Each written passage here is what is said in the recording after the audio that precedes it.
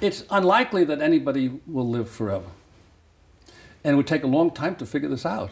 It would take forever, right? But the, the, the, uh, the, it's unlikely anyone would live forever because uh, th- there are always accidents that might kill somebody, even if we could eliminate all disease. And also, there is an aging process. As people get older, there- there's cumulative damage to their, our bodies, and so mortality tends to go up. So, no, I don't think anybody will live forever. The oldest documented lifespan is 122 years, was lived by Madame Jeanne-Louise Calment in France. So that's how long humans can live, 122 years. But mortality, death rates are going down, lifespans are going up, so it's likely that in the future people will live, somebody will live longer than 122 years. Life expectancy for humans in the countries that have high life expectancy has been going up by three months per year since 1840. So for the last 170 years, life expectancy has been going up by three months per year. And there's no sign that this progress is slowing down. In fact, there's a little bit of evidence that the progress is speeding up because of bi- biomedical breakthroughs. So that's why I think life expectancy is likely to continue to go up at something like three months per year, maybe a little faster. Life expectancy is increasing for several reasons.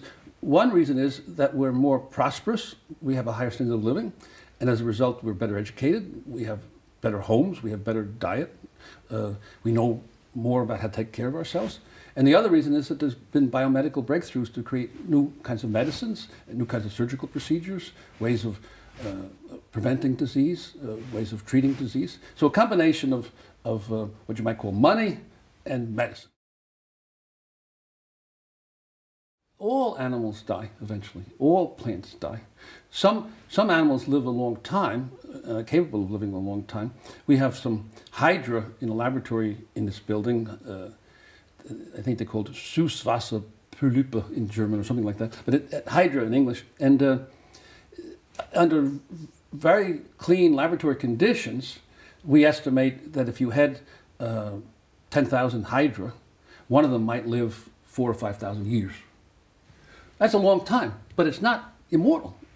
And the, these hydra, a few of them die every year. We, we, we had this study for six years, and a few of them die every year. So, and all animals and all plants there's some chance of death, and no animal, no plant will live forever. Some, some trees live thousands of years, but no tree lives a million years.